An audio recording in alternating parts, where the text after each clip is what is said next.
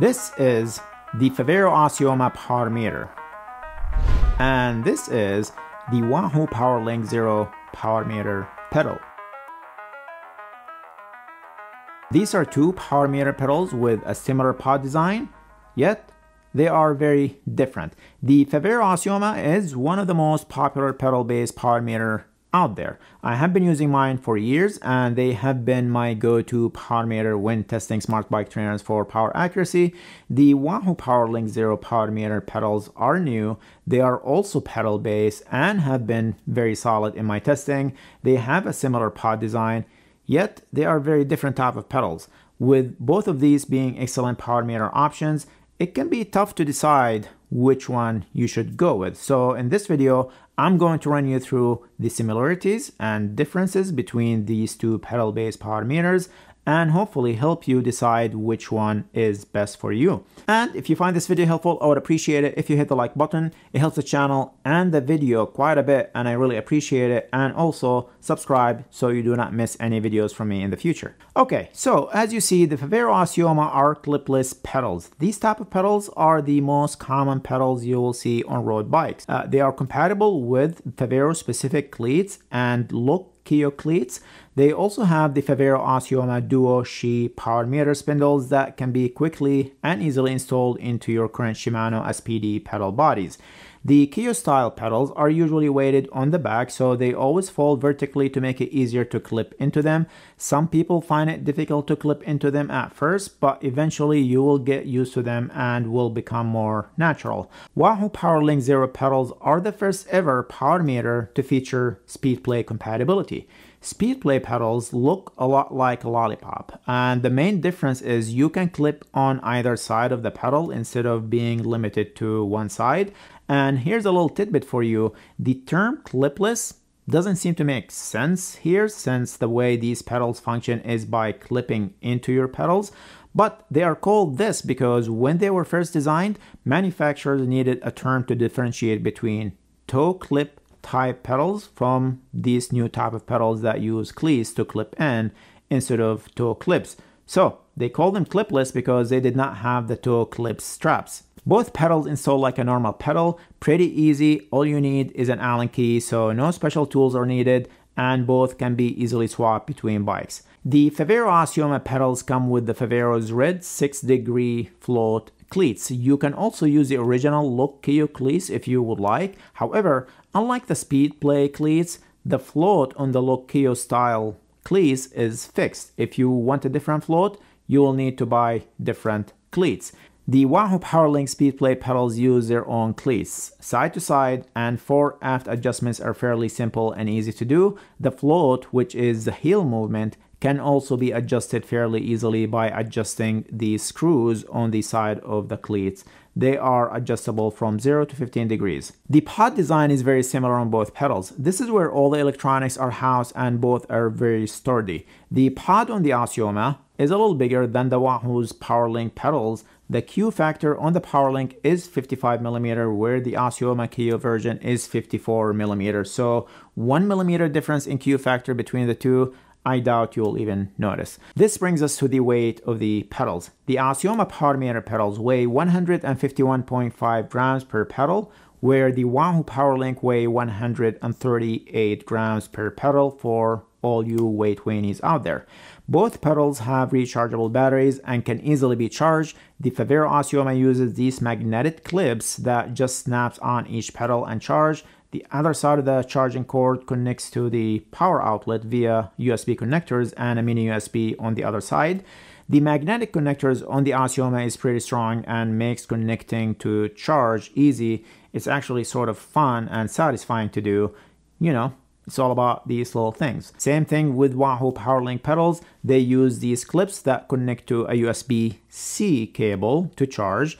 The POWRLINK charger are easy to attach to the pedals but not as snappy and satisfying as the Assioma ones. When fully charged, the Assioma Favero will give you 50 hours of riding time, where the Wahoo POWRLINK pedals will give you 75 hours. So you will get a lot of riding out of both pedals before having to recharge them, but the Wahoo POWRLINK pedals will give you 25 hours more riding time. So that's 50% more riding with the POWRLINK uh, pedals than Assioma. Both the Assioma and Wahoo broadcast in ANT Plus and Bluetooth, so you can easily pair them to any compatible bike computer from Garmin or Wahoo or any compatible cycling app. One connectivity advantage the Wahoo POWRLINK pedals have is that they have three different Bluetooth channels. Probably not something that you will notice if you only use the pedals for riding outside, but if you ride indoors and want to capture the power data using two different apps in Bluetooth or let's say you pair the pedals to Wahoo's app to calibrate, you won't need to worry about disconnecting from the Wahoo app before connecting to Zwift, for example. That's not going to be the case with the Assioma since it only uses one Bluetooth connection. So if you connect it to the Assioma app, you will have to remember to disconnect it from there before pairing it to a different app in Bluetooth. This is a little thing, I know, but it can make a big difference in user experience and just one less thing to worry about when getting ready to ride. Let's talk about power measurement. Both pedals have two different versions. A single-sided option, meaning it will only measure power from the left leg, and a dual-sided option, meaning it will measure power from both legs. I always recommend the dual-sided to people, but if you get the single-sided, just know that it's only measuring power from the left leg and multiplying that number by 2. So if you try to compare that number to other power meters that measure power from both legs, those numbers might be different, especially if your right leg is a lot stronger or a lot weaker than the left leg. Both power meters measure power within 1% accuracy. Both of them have auto zero offset. Both have temperature compensation. Both measure lift, right, power balance, and both of them measure and broadcast cadence. Like I said earlier, both pedals have been very solid for me and consistent in power measurement. They just work. The main difference between the two is what they measure and the data they broadcast. So let's talk about that. The Favero Assioma measure additional power cycling dynamic uh, data like torque effectiveness and pedal smoothness. This data allows you to geek out over your pedaling technique. Now, I have been training with Power for over 10 years and had access to this type of data for I think the past three or four years. Not a single time I looked at this data to analyze my riding. I looked at it because I know it's there, but did I make any decisions based off of my torque effectiveness?